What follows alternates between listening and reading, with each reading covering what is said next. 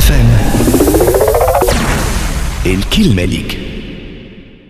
نقول لك اولا أنه قلت لي آه، حركة نهضة في الحكومة وطالب اسقاط الحكومة كأنها مناضلين في حركة نهضة يعتصموا ولا يعملوا آه، وقفة احتجاجية قدام بليزير يعني أمر مش معقول. نحن في الحكومة وأكثر من هذا قلنا منذ البداية كلامنا ربما فاجئ البعض أنه مسؤوليتنا في الحكومة مش بقدر تمثيلنا فيها. وقت اللي كان عندنا في الحكومة وزير لو يصبح مستبرد نغيب ولا مجلس وزراء قلنا أنا نتحمل المسؤولية كاملة كيف الناس اللي حاليا عندهم رئاسات ثلاث برشا ناس تنسى إنه كان برشا حديث على التغول بعد الانتخابات تو ما عاد يحكي عليه حد ما نحكيوش عليه حتى نحن.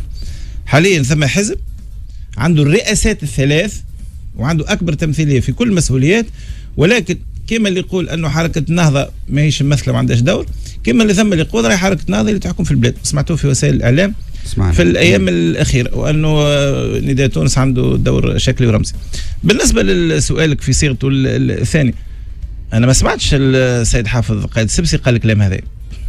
وقت يوسف اللي الشاد قال. يوسف الشاهد قال مش مش على قلنا. يوسف لا الشاهد يتواصل مع مع أي. قائد السبسي. يوسف الشاهد هو رئيس هو لازم الحكومة وينطق باسمه ولكن اللي تكلموا باسم حافظ قائد السبسي. وقت اللي سئلوا هذا السؤال ولا أثير هذا الموضوع أمامهم قالوا مش صحيح.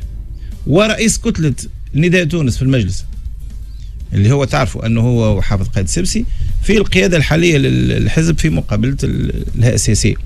يقول أنه هذا مش صحيح وأنه علاقتنا بس يوسف الشاهد علاقة ودية وثم تنسيق وتواصل مستمر. وبالتالي نحن نبني على هذا حتى نسمع من حافظ قائد السبسي ما يخالفه.